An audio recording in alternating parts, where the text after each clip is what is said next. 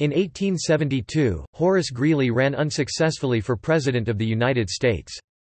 He served as the candidate of both the Democrats and the Liberal Republicans a breakaway party that split off from the Republican Party due to its members' dislike of the corruption of the Republicans and the Republicans' Reconstruction policies, in the 1872 election. In the run-up to the 1872 U.S. presidential election, major changes occurred in the United States. Specifically, the Fifteenth Amendment gave African Americans the right to vote for the first time, while the government cracked down on the Ku Klux Klan. In addition, the economy was still in good shape and President Ulysses S. Grant's corruption scandals for the most part were still not public knowledge. With this background, the incumbent U.S. president was able to decisively defeat Greeley.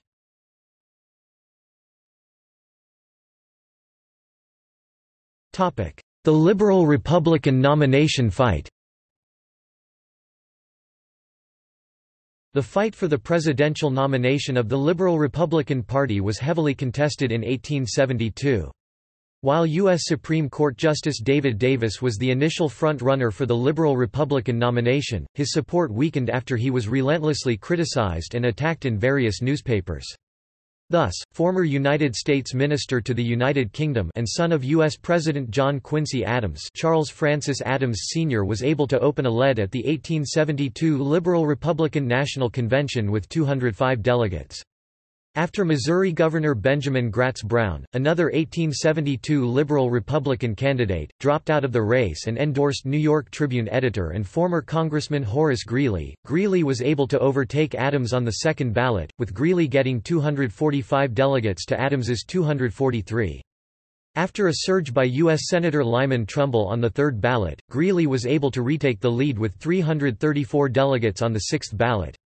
Later on, Greeley ended up winning the 1872 Liberal-Republican nomination with 482 delegates to Adams's 187.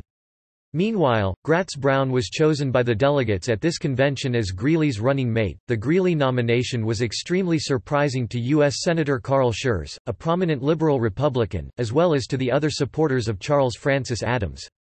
Both the press and the public were also surprised by the Greeley nomination due to the fact that the largely free trade liberal Republicans had chosen a staunch protectionist as their presidential nominee. Moreover, Greeley had no political or government experience, was known for his eccentric, erratic persona and support of a wide variety of fringe ideas from vegetarianism to spiritualism, and had left a massive paper trail of controversial and sometimes contradictory public statements which the press and his political enemies could exploit. After Greeley and Gratz Brown were nominated by the Liberal Republicans, the Democrats also nominated the Greeley-Brown ticket as its own nominees for the 1872 U.S. presidential election due to their belief that they could not win the U.S. presidency without the support of anti-Grant Liberal Republicans. Both liberal Republicans and Democrats thought that, by sharing the same presidential candidate, they would be able to infiltrate and dominate the other party. A group of Democrats dissatisfied with the Greeley nomination called themselves the Straight Out Democratic Party and held a second nominating convention in Louisville, Kentucky.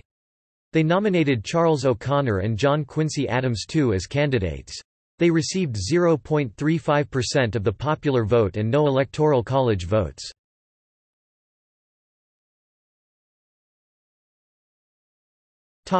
Campaign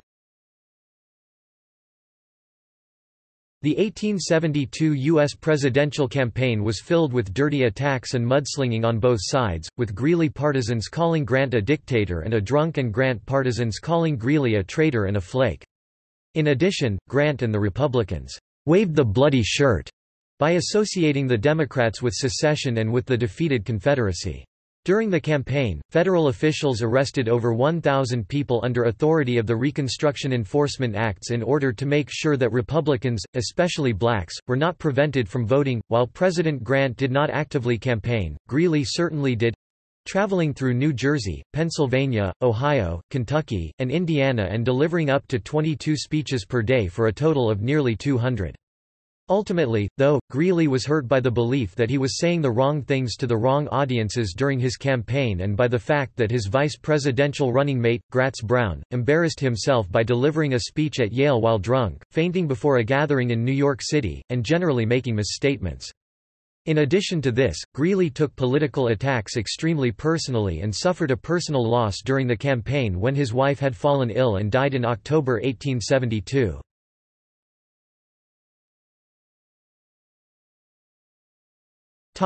Results